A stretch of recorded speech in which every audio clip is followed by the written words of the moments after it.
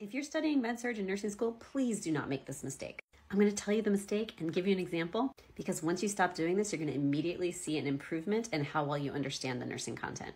I'm Nicole, professional nursing tutor with over 15 years experience, and I want you to avoid the nursing school horror stories. Here's the mistake I see so many nursing students make. When you study a disease process and you identify the pathophysiology, you tend to mix up what's the actual pathophysiology and what caused the pathophysiology. Let me explain. And then I'm going to give you a bonus tip I just thought of. Let's take pneumonia. If you Google it, if you look it up in your textbook, pneumonia is at its simplest. It is inflammation of the lungs.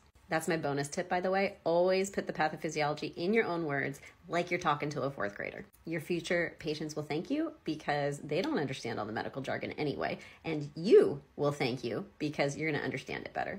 But even though the pathophysiology of pneumonia is simply its inflammation of the lungs, there are different things that could cause that inflammation. I break this down as step 2A and 2B in my Silver Bullet study system, the best way to study in nursing school. Step 2A is going to be what is the simple pathophysiology. Step 2B, what are some things that could have caused that pathophysiology? With pneumonia, you can have a bacterial cause, you can have a viral cause, you can have fungal cause, you can have aspirational where it just goes down the wrong hole and irritates it. You could also choose to break it down as community acquired or hospital acquired. And those clauses do matter when you get to step three and four of the Silver Bullet study system, but not as much as you would think. Because now, when you organize your thought process this way, you're going to save yourself a ton of study time. Because at the end of the day, it's still inflammation of the lungs, no matter what caused it. It's like having a broken window.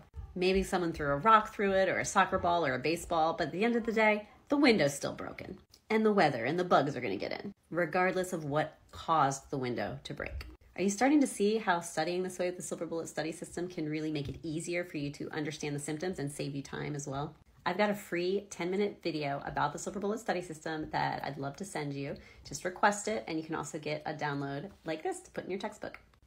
Don't forget to follow for more nursing school tips that actually work.